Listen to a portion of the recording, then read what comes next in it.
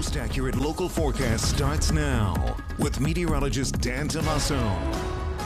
Today feels like we're back into the swing of things in terms of spring weather. Highs officially coming in at 63. Our normal high should be close to 60, so we're right on par after a very cool and damp week. This is a nice way to cap off this weekend. Temperatures currently still 64 in Carlisle, 63 in Chambersburg, after highs today about 64 to 66 degrees. And there's all that sunshine. Plus, if you've noticed any of the river routes or maybe even your local creeks and streams driving along, you can see that the water levels have certainly receded in a big way. So we dodged a bullet there. We obviously had a lot of rain last week, but the river was able to hold just below flood stage, and many of our creeks and streams only got away with minor flooding at the end of the day. But visible satellite picture shows we're high and dry through tonight. It's this area of cloud cover that's over parts of Wisconsin through Indiana, Ohio that we're watching come closer to the midstate because unfortunately it's right in that window of time that the solar eclipse will be happening. So taking a look at our hourly forecast through tonight,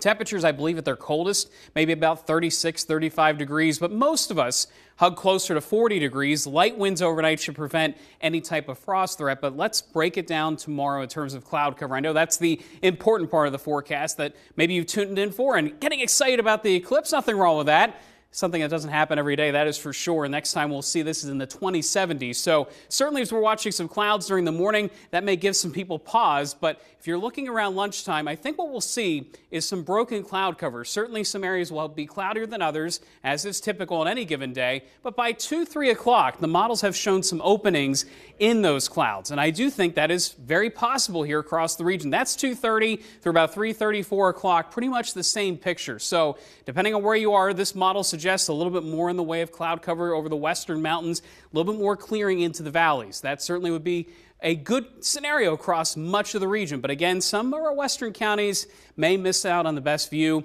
Those clouds continue then overnight into Tuesday, and then Tuesday itself, there is a little bit more clearing before we get another round of showers late Tuesday into early Wednesday morning. Now, the heaviest rain will wait till later in the week, but here's your eclipse forecast. Again, that window from about 2 to 3 o'clock, broken cloud cover. If you kind of want to be out during the peak of all this, Think about 315 to 325, depending on where you are across the region. Again, it varies place to place, the exact maximum that you'll see locally. But you look at our seven day forecast. Tomorrow's high 64, Tuesday in advance in the next area of rain 72.